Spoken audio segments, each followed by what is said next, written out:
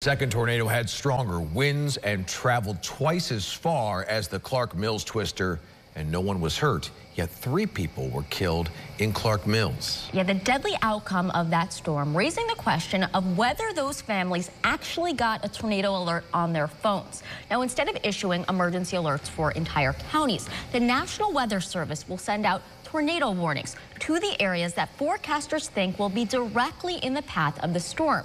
They do this by drawing polygons around the most threatened areas. Now, this is a zoomed in view of one of those polygons that was drawn on Sunday. The tornado warned area highlighted here in red.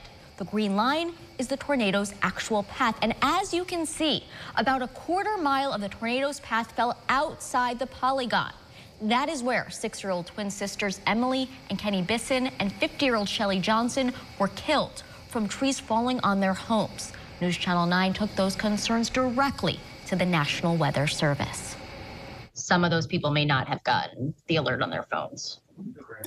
That is possible, but again, it depends on the uh, smartphone model that they have, the settings of their phone, and then even the locations of the cell towers that they're receiving their signal from. Looking at the timeline, the National Weather Service issued severe thunderstorm warnings at 3:14 and 3:46 a.m. The tornado warning came in at 3:54 and the Clark Mills tornado formed 4 minutes later.